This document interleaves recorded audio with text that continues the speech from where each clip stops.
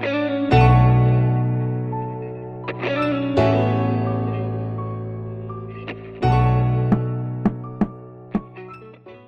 guys what's up? Welcome back to my channel. We are getting right into it. Everything will be down below in the description by the way.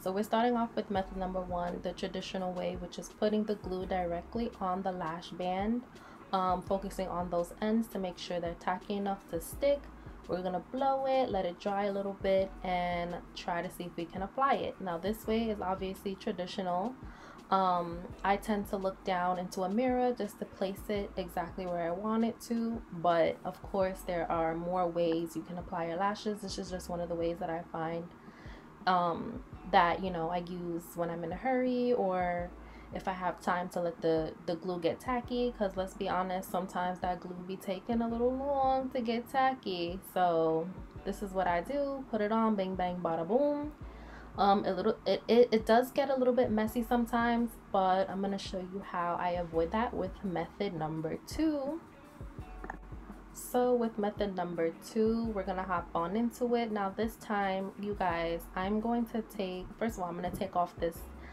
disgusting extra glue that was left on from the last time i used my lashes yes i do reuse them i don't wear lashes um every day so of course, you know, we got to remove that extra lash glue that was on there from the day before or whatever.